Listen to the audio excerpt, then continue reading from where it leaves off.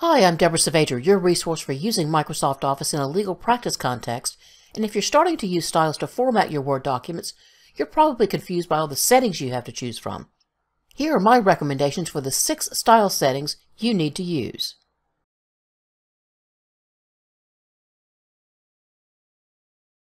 If you want to be sure your headings are always connected to their following paragraphs and not separated from them by a page break, be sure to turn the style's Keep with Next checkbox on. To do that, right-click on the style, choose Modify,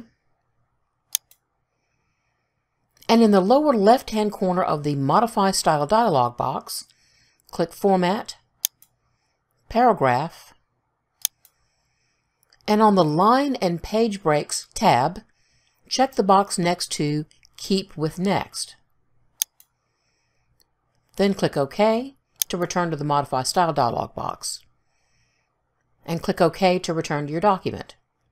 Be sure to check the New Documents based on this template radio button to keep from having to do this every time you start a new document.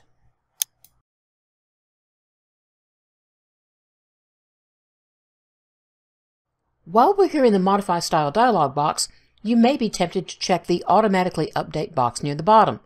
Don't. This setting tells Word to save any text formatting changes you make to style text to that document's style. In other words, if you do any direct formatting of your text, you'll find that all of the text with that style applied suddenly takes on the same characteristics.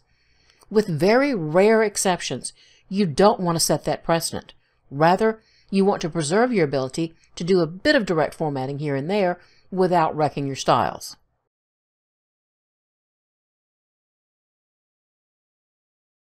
If a style you're creating or modifying is a style you very seldom use, you may not want it cluttering up your Styles Gallery on the Home tab.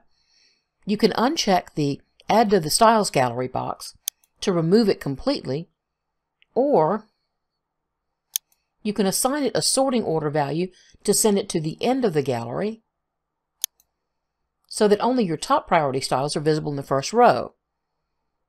To do that, open the Styles pane by clicking on the little launcher arrow in the lower right hand corner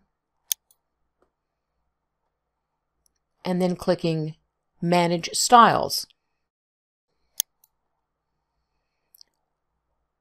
Sort the list so you can actually find the style and then find the style. Select it and then click Assign Value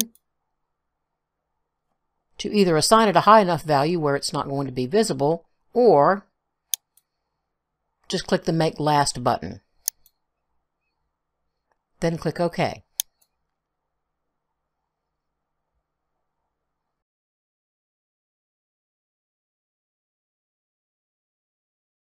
Styles come in three basic flavors, character, paragraph, and linked.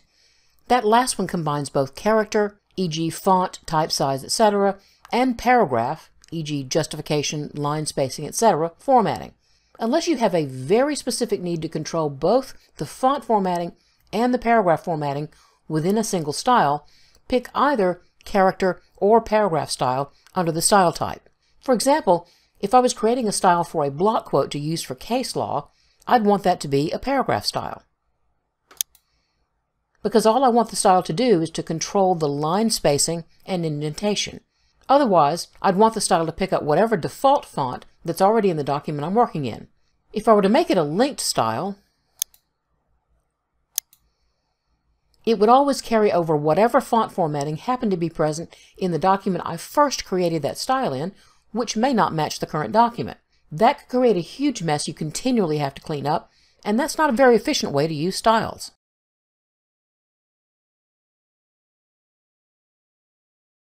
When you're creating your own custom styles to use in your documents, take a second to think about what's going to happen when you press the Enter key. Do you want to keep formatting text with that same style?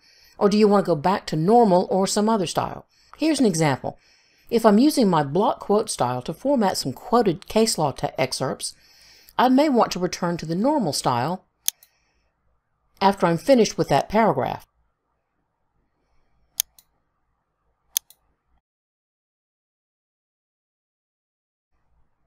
On the other hand, if I'm using my depo text style to format quoted deposition testimony, it may make more sense to continue in that same style for multiple paragraphs.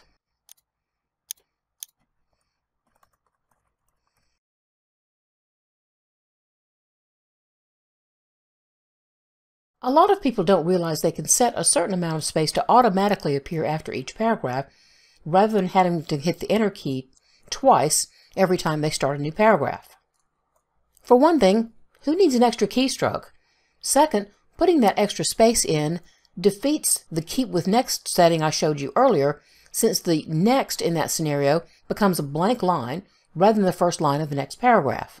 All you have to do to set some automatic vertical space between your paragraphs or between your headings and their following paragraphs is to go to the paragraph dialog box and put a setting in the spacing after field. If you're in the Create New Style from Formatting or the Modify Style dialog box, click the Format button in the lower left-hand corner and choose Paragraph. Then fill in the Spacing After field you can either type a value straight in or use the spinner arrows to increment or decrement the number. Be sure that the Don't add spacing between paragraphs of the same style is left unchecked. Now the paragraphs and headings are very attractively spaced. I hope these six tips have given you some more confidence in using styles for your own documents. Got a question about styles? Leave it in the comments below, and thanks for watching.